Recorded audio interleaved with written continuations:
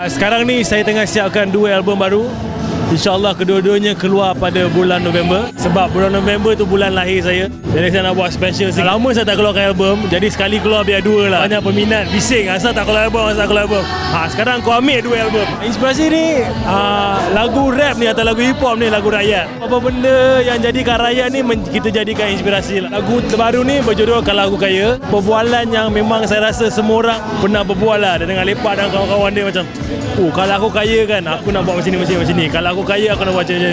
Orang selalu berbual pasal benda ni. Okay jom kita buat lagu. Tapi memang Ada tu peribadi Ada tu kasihkan oleh orang lain juga. Lagu ni patutnya di, diberi kepada radio station Atau dipasarkan lepas raya. Tapi orang dah buat silap orang bagi awal. Lagu tu sedap Station radio nak main lah lagu tu. Jadi diorang mainkan lah Rosak perancangan tu Perancangan promosi Atau rangka promosi tu dah dah tak dah dah sebab dah keluar awal kita kena tukar lah saya terkilan sedikit lah tapi benda ni dah jadi dia bukannya sesuatu yang orang buat sebab dengki ke apa. Dia satu kesilapan yang ikhlas lah betul-betul ikhlas. Warner Music syarikat rakaman yang ah, apa ni distribute lagu saya. Dan saya dah dengar penjelasan orang. Biasanya bila orang bagi lagu dekat stesen radio. Stesen radio tunggu 3 bulan baru main.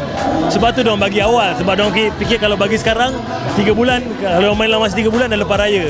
Jadi sebenarnya dia bukan salah siapa-siapa. Satu yang terjadi dan kita kena buat kita kena ubah uh, rangka promosi kita dengan sebaik mungkin. Dari tepi gendong tak berakar sakit.